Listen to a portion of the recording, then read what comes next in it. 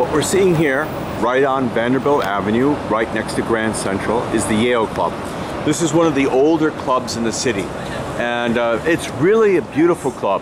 Um, people who graduated from Yale University are members of this club, and uh, it's really very nice inside. Now, historically, what had happened, uh, these clubs were very exclusive.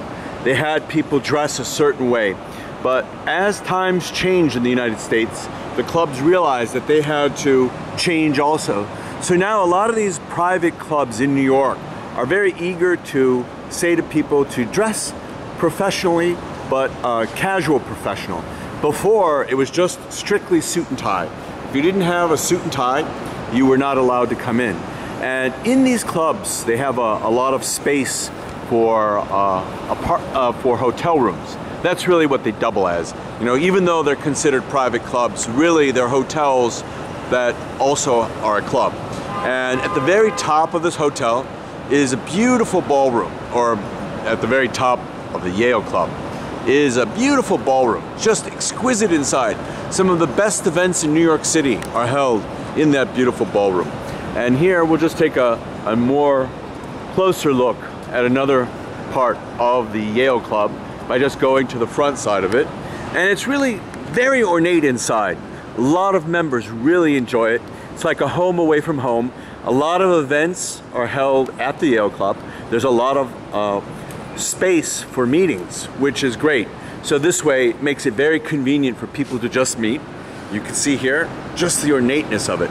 It's designed for a time like 100 years ago where people lived a certain lifestyle, and some people like to live that lifestyle. But one of the issues now is that many people are finding other venues to spend their time in, and that's where Yale and all the other private clubs are complete, competing with these other locations. And in many big cities, they have the same issue. Like the private clubs are very eager to have private clubs. However, the people realize that um, there are other things to do too, and because of the numerous amount of venues, makes it very easy for people to, to do other things. But in general, the Yale Club is great. Uh, members love it. It's great inside. It's a very cordial atmosphere, and many other private events are held inside.